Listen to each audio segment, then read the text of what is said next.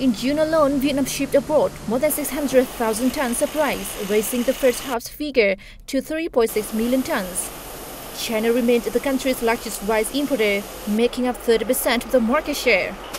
The export value also increased in other markets like Iraq, Malaysia, the United States, China, and the Philippines.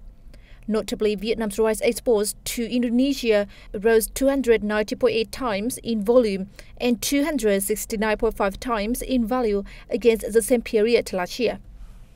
Experts forecast that in the fourth quarter of this year and the first three months of 2019, rice demand will mainly come from the Philippines.